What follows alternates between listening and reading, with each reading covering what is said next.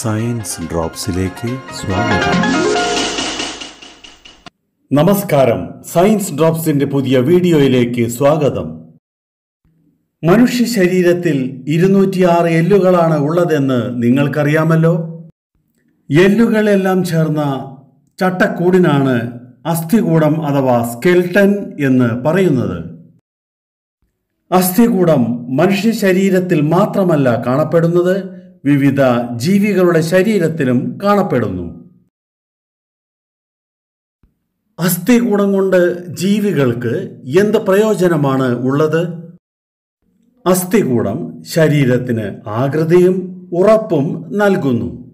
കൂടാതെ അവ ചലനത്തിനും സഹായിക്കുന്നു.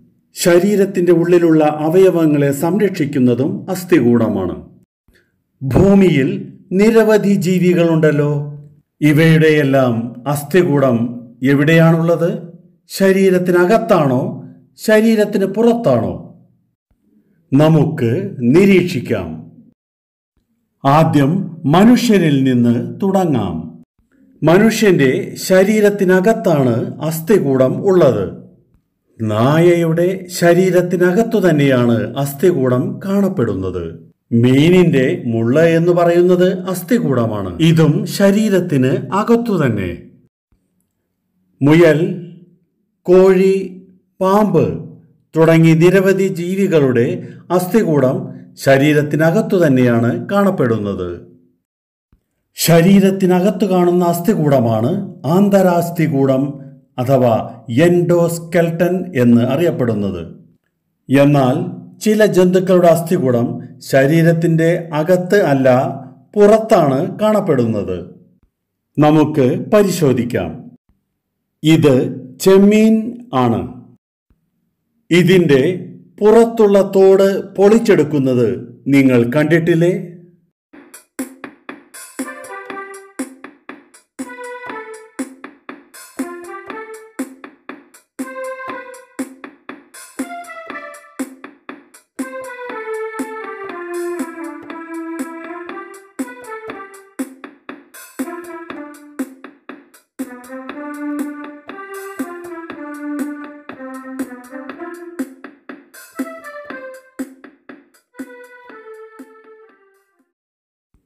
ഈ പുറം തോടാണ് ചെമ്മീന്റെ അസ്ഥികൂടം.